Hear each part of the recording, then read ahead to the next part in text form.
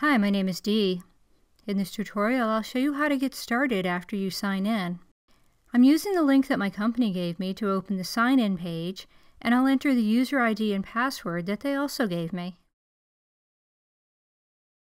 We land on the home page, and here are icons you can use to go to your tasks.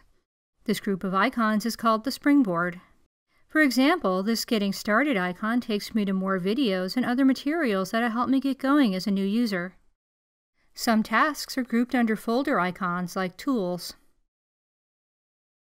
And on some other pages, like this one, we also have a springboard we can use to get to other tasks.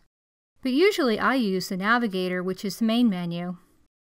And if I want to get back to the home page at any time, I can click the logo or the home icon.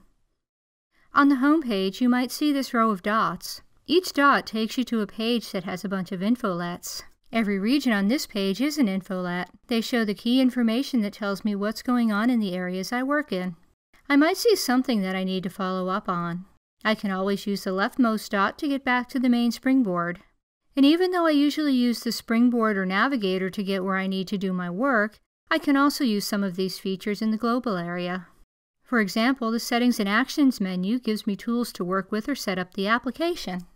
I can, for example, set my preferences. And because I have admin rights, I have a lot of options in this menu for customization or setup. And finally, when I'm done all my work, I'll sign out from here. Thank you for watching.